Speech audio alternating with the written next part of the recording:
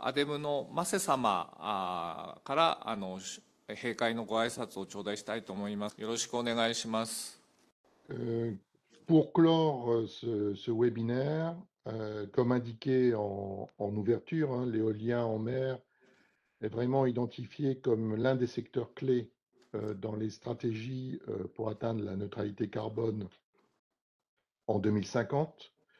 Ce webinaire euh, ADEME NEDO a, outre la présentation des, des, politiques nationales et des feuilles de route euh, de recherche-développement, a permis la présentation euh, d'innovation, d'application de l'éolien offshore flottant par huit industriels japonais et français, l'Université de Kobe, la région Occitanie, que je veux ici remercier profondément de leur contribution. En écoutant l'ensemble des intervenants, j'ai repéré quelques pistes de possibles échanges entre l'ADEME et l'ANEDO dans, le futur très proche euh, sur cette thématique euh, éolien offshore flottant, notamment concernant euh, la simplification des processus d'octroi de permis, sans doute l'acceptabilité de la part notamment des pêcheurs de ce type de projet, peut-être également réfléchir ensemble sur l'établissement de feuilles de route avec euh, euh, des orientations et des objectifs clairs euh, entre nos deux organisations. la mise en place peut-être de dispositifs d'aide spécifiques à réfléchir entre nous,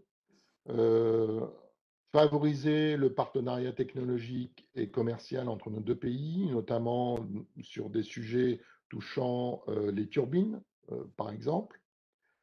euh, soutenir également des partenariats interrégionaux, ça a été euh, évoqué par le dernier intervenant de la région Occitanie et c'est extrêmement important.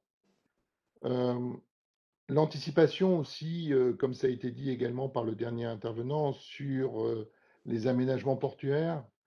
qui permettront de structurer et de lancer véritablement cette filière éolien offshore flottant. donc voilà, quelques pistes, quelques repérage de pistes d'échanges possibles entre l'ADEME et l'ANEDO suite à ce webinaire euh, qui a contribué euh, véritablement au renforcement franco-japonais sur cette thématique vraiment stratégique de l'éolien comme l'ont souligné de nombreux intervenants français et japonais, nous espérons avoir contribué à la réalisation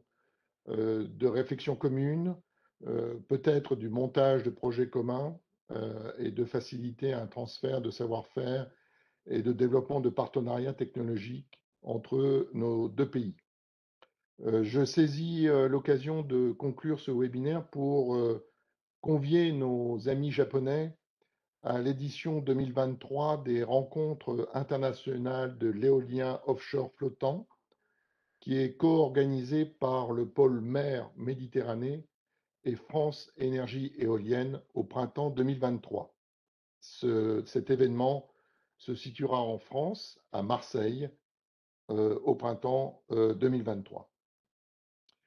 Il me reste bien entendu à, à remercier vivement euh, tout d'abord les interprètes pour leur contribution extrêmement importante pour la tenue de ce webinaire, l'ensemble bien entendu des intervenants et la richesse des contributions qu'ils nous ont apportées. Toute l'équipe de la NEDO, euh, qu'elle soit à Tokyo ou à Paris, le bureau d'études JTEX pour son appui à l'organisation et à l'animation de ce webinaire, et bien entendu mon équipe propre euh, au niveau de l'ADEME euh, qui a collaboré avec euh, l'équipe NEDO pour le succès de cet événement. Pour terminer véritablement mon, ma conclusion, je dirais quelques mots en japonais. Go seichu arigato, gozamashita. Merci à vous.